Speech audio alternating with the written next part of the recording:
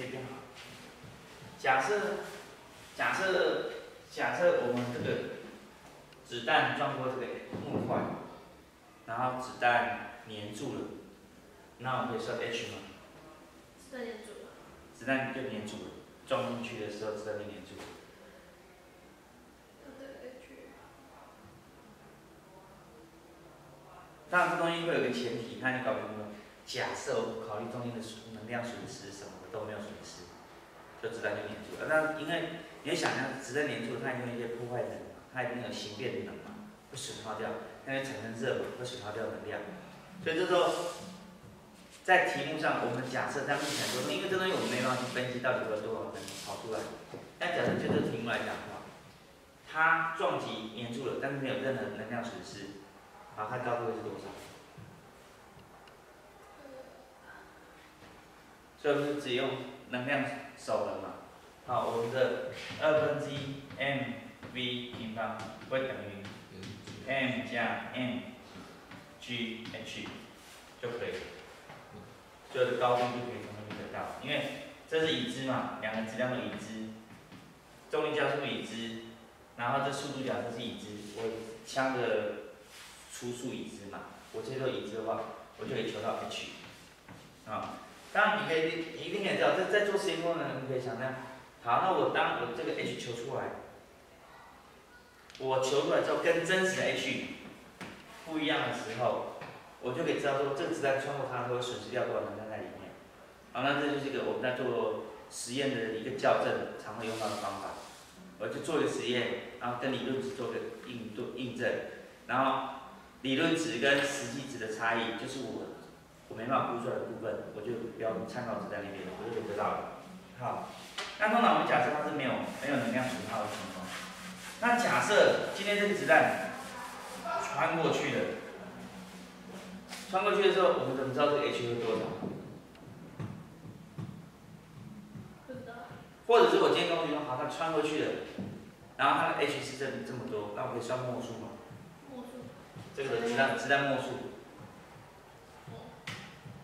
就可以算了，啊，因为这又是直接能量守恒，就是二分之一 m v 平方会等于什么？m g h 加上二分之一 m v 平方，对不对？那假设这 h 已知，我就可以算出末数对，好，所以基本上这些都是能量守恒的一些交叉运用。好，那但，如果他在问你一个题目，哎，如果哇，这是一个很很硬很硬的钢，我子弹进进不去，我反弹了，我反弹了，我我的反弹到 H，跟这反弹的结果是就是，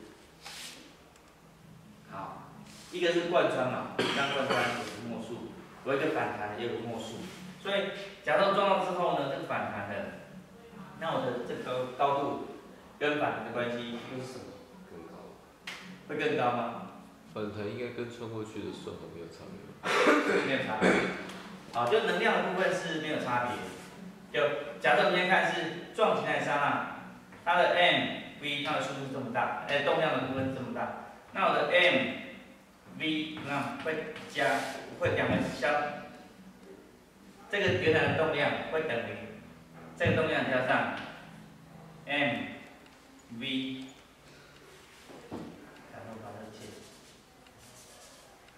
M v one v two，那因为这个方向是相反，对不对？所以我们这边加个负号。好，那另外一个是能量的话是二分之 m v 平方会等于二分之 m v one 平方加上二分之 m v two 平方。那你说，那二分之 m v two 平方是什么？二分之 m v 这个答案对不起，答案。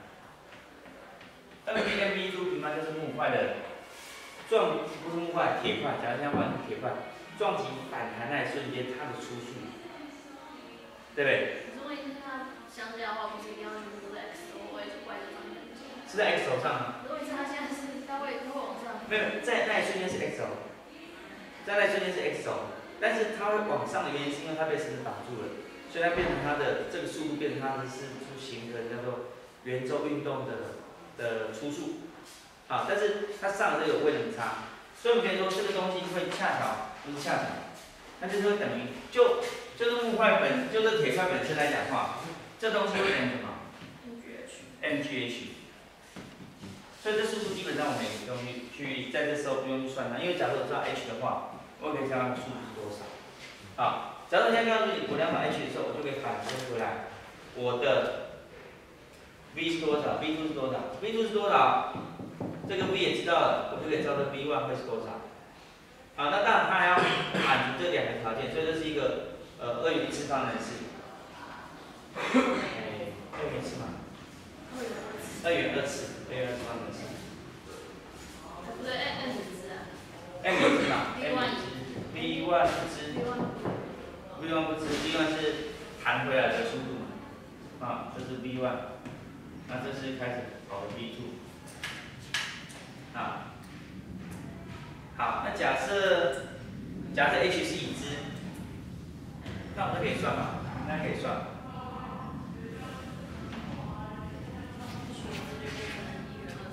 所以我们的 m two 平方会等于二 g h，对，对，对不起，v two 平方，v two 平方，这 v two 会等于根号二 g h，好，把这带到第一次，对不对？带到第一次之后，这边就变成已知了嘛，这是已知，这是未知，对不对？所以我们的就可以带入。第一次，我们就得到 m v 等于负的 m v one 加上 m，那就是根号二 g h，所以我们的 m 假设呃 v one 就等于什么？一项 m 根号二 g h 减掉 m v，对不对？注意 m。这等于 m 分之 m 根号二 g h 减掉 v，然后这部分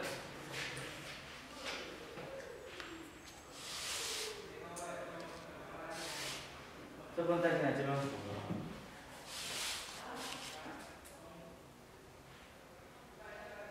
嗯，可是第二次不是嗯不，是本来就从第二式来的吗？没有，我这是直接从这边来的，对不对？这个直接带进去，哎，对啊，我这两个是相等，我直接带进去这里，就是应该算第三式，啊，这两个相等，第三次得到带带回去第一次的这边，然后如果我们回到第二次会相符嘛？我们来看一下，二分之一 m v 平方。等于二分之 m v 外是这个 m 根号 v h 平方减 V 加上，那里减 b？哦，那里减 b。减 m v。哎，减 b 没有没有，对，减 b 平方加上。我们可以用 MGH，对不对？啊，这两题。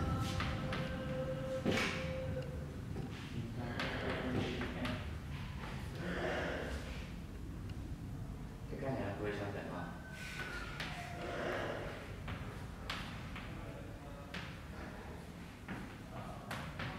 二 M B 二 A B 哈，二。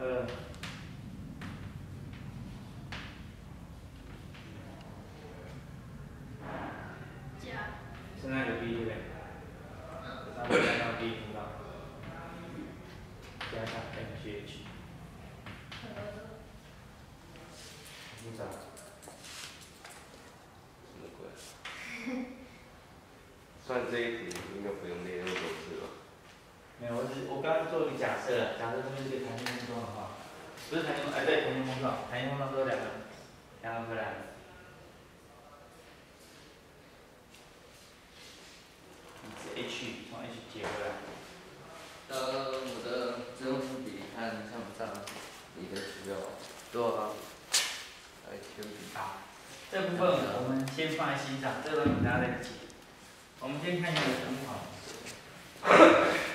等等一下跳太快了。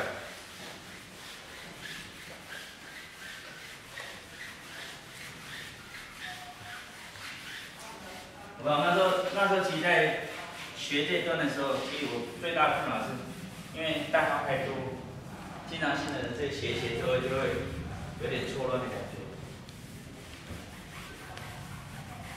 好，我们来看一下原来这个题目哈，它贯穿完之后，他说，哎，恰巧它穿过第一个木块，然后子弹继续贯穿到第二个木块，然后它两边的高度都可以拉到 h 的位置。好，那问你说？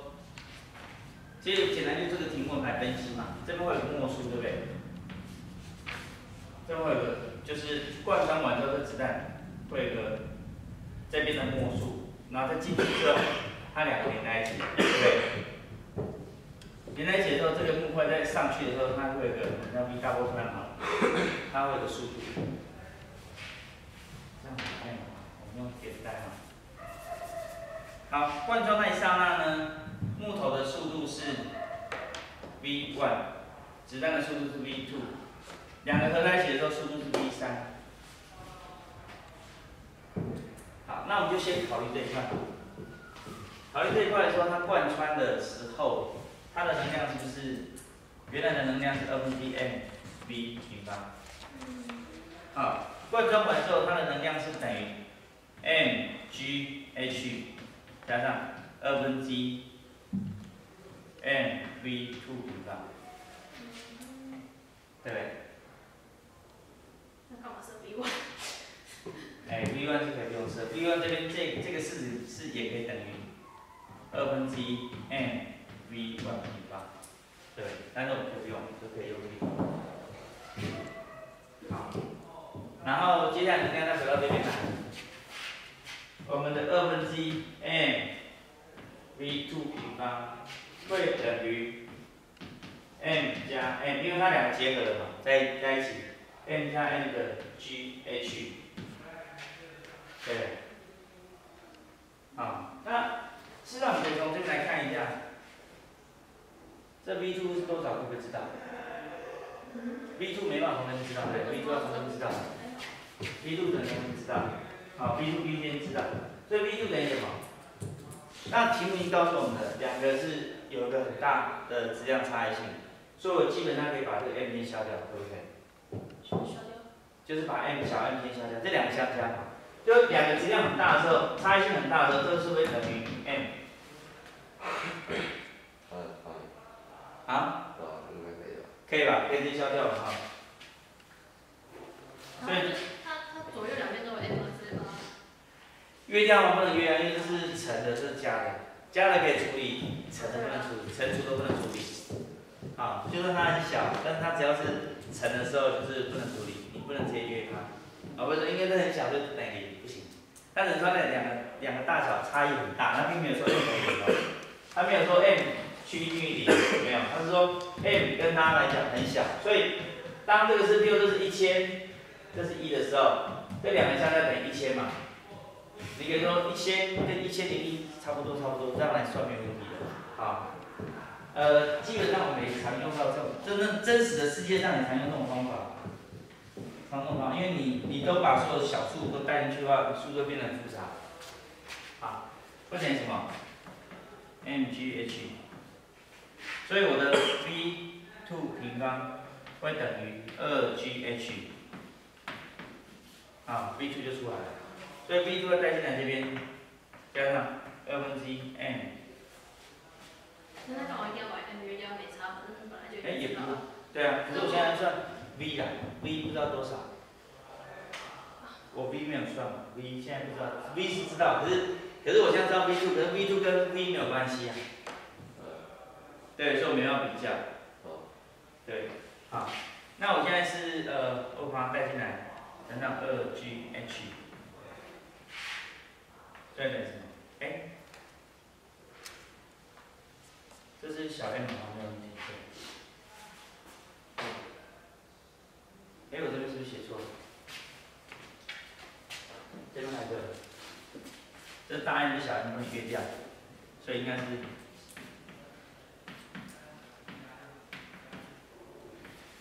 对吧？啊，这是大 M，这是小 m，所以不能约掉。所以平方之后，然后开根号就是这样的，刚才对，然后是不是？好，好，刚刚大 M 小 m 不能约掉，嗯。这边等于大 M GH，嗯。这边是小 m，所以小 m 除过去不能约掉，所以是放在这边。嗯，乘上二切取，然后等于一起开根号，好，所以是这边有，好，这是 n，然后这是根号小 m n 二 g h，然后平方，所以这一次会等于什么？开根号完之后是二分之一 m 约掉，加 n 二 g h，对不对？啊，两倍啊，我已经算完了，运算完了。对吧？好，所以，好，先先把这个二分之一约掉，对，然后 m 除过去，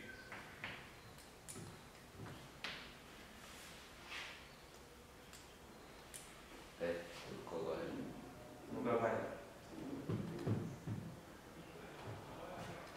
所以 b 平方等于四倍啊，这边是两倍嘛，两倍。这是四倍的 m n 好了了，g h，对不对？然后开根号，这边二，OK，所以 b 是跟 b 的比值是二比一嘛，哎，这应该不是算这一题的标准程序吧？不是这样的，那不然是什么？我不知道，这看起来会太迟，然后就，写好久啊。因为应该那个，我是用比较概念的，好，概念上是你如果有想象的话，还有一个方法想象，怎么样想象？我我记得一开始想象，因为他题目很简单，就是问你说这个我们这边的末数跟这边的数的比值嘛。那你可以想象是，我出去第一个损耗掉一些能量，让它木块提升；第二个损耗一些能量，让它木块提升。它两边提升高度是一样，所以能量是一半一半，所以这边能量是它的一半，是这样吗？然后对。因为本来这样想，我就觉得不知道哪里怪怪的。不会啊，完全不会看，你就看下面的答案就知道 A 啊，看答案就知道。问题是如果没有看答案的时候呢？那就直接写 A 啊，那第二题，他第二个问题是什么？哦，每次这样这样想，就哦，那能量一般，有时候就会想到它那个不会啊，这是物理题的，那个什么，它作用时间会不会有？就是如果是这样想的话，嗯，好，那其实它有一个有一个地方是，比如说，那其他的都不错，好，B 好，B 说子弹在两个木块中产生的热量大约相同，为什么不一样？嗯，它的速度不一样，然后因为那个它是子弹，子弹不会摩擦，子弹不会摩，子弹会摩擦。子弹外表光滑，其实它差异就在一个是贯穿，一个没有贯穿。有一个贯穿没有贯穿，它其实它能量就有差。知道，啊，然后还有一个是什么？第三 C 七。一样，吸什么？使得动能大部分转换成木块的力学能。这多来说，还有部分的热，对啊，它有部分转换成热。他讲大部分，就他讲题目上讲题目讲大部分的时候，呃，我们就比较难说到底对或错，就是因为它很大，有多大？对大部分，大部分是力学的。他除非讲全部，好说是全部没有之类的。第一次出数是这样子，出数不是嘛？出数两倍哈？子弹与强木块碰撞为弹性碰，非弹完全非弹性碰撞这一块这当然不对哈。第一个碰撞就不是完全碰撞，第一个碰撞是这是什么碰撞？这是贯穿啊，这贯穿贯穿是什么碰撞？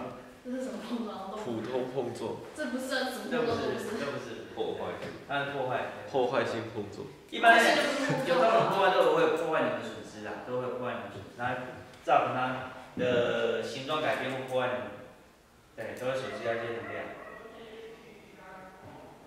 OK，好，我记得有个题是跟摩擦力有关的题目啊，第四题所以碰撞一定要弹回去才能叫碰撞吗？没有啊，粘在一起也是啊。，OK，连在一起也算碰撞啊，连在一起完全那完全非弹性碰撞。穿穿过去不是，为什么穿过去不是？他如果穿一半呢？穿一半穿一半不就是连在一起吗？然后如果穿到差一点点，就是一个。对啊，就是它贯穿的部分，目前还没什么定义吧，没有什么叫做弹性碰撞。对啊，可是我的意思是说，它呃，反正它只要应该讲说，他就是撞到他了嘛，然后他只是撞得用力就撞出去，那应该应该是说他的那个。应该应该应该也可以叫碰撞，但是他的那个弹回去的力被他往前的力给吃光了，不能这样讲。弹回去的力被他往前的力吃光了。这个好像不太一样。其实完全被弹性碰撞就是说，它所有的，就是说它有很大一部分能量是损耗到这个这个这个形电里面去，所以它就粘住了，它粘住了。所以其实我们如果说简单来讲，说完完全被弹性碰撞，这样可以看一下。假设我现在这个一个木头质量大 m，我一个泥巴质量小 m，我以个速度撞上去的，好了，撞上去之后完全非弹性碰粘在一起的。嗯。请问一下我能能量损失多少？我怎么办？我怎么处理这个题目？问你。看知道，如果知道后来的速度。对。啊，后来速度是多少？如果知道就可以。我可不可以从这边知道？可是我不知道损失多少。我我，那你我今你刚刚完全非弹性嘛？完全非弹性表示什么？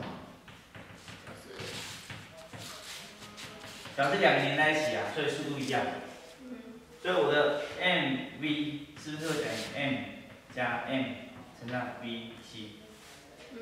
或者是 b 也可以。对。那我就可以知道我的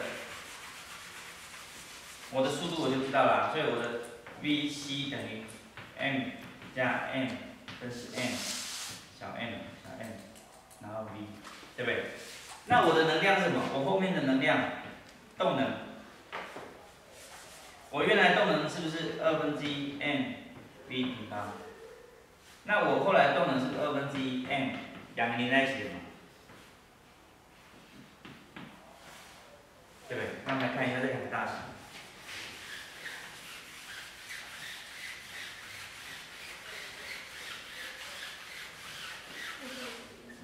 对？会等于什么？为什么为什么要减掉？减掉？这是碰撞之后的能量啊，因为连在一起的嘛，连在一起不是以 B C 的方式前进，就是直线输入前进，然后碰到连在一起之后，它总总。总质量是两个相加嘛，所以等于 m g n v 平方减掉二分之大 M 加小 m，然后是大 M 加小 m 小 m v 平方，所以等于什么？二分之一约掉一个，所以大 n 加小 n，n 平方 v 平方。二分之一 m v 平方减掉这个，等于什么？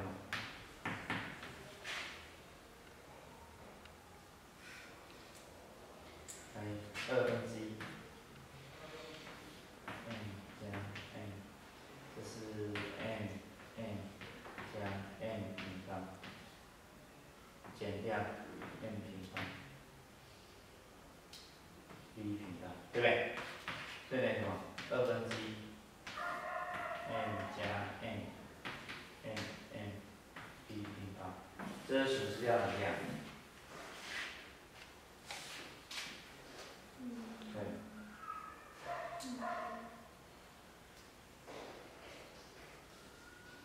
没错，应该没错。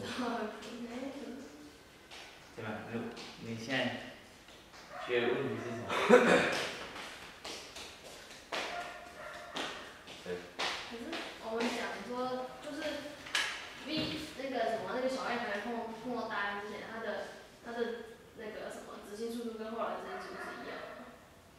直线速度不一样吗？不一样。直线速度你看嘛，它它这一瞬间在这里，它在这里哈，然后下一瞬间它在这里，它还在这里啊。所以直线，本来直线假设在这里哈，但是现在是瞬间时心可能会在这里，它直心是有动的，对不对？可是两个连在一起之后，它们两个速度是以直线速度连接的，因为它们总动量相同嘛，对不对？动量所以动量，我的一开始我的 m v 加上 m 零乘上零嘛哈，会等于 m 加 m 乘上直线速度，好，总动量一样。对，所以我们从这边来推导它的那个执行速度。可是当连在一起之后，执行速度就是连在一起的速度了，对？所以我们用执行速度来算它的动能。好，那第十十几题是十四题，十四题是有摩擦力的，看一下。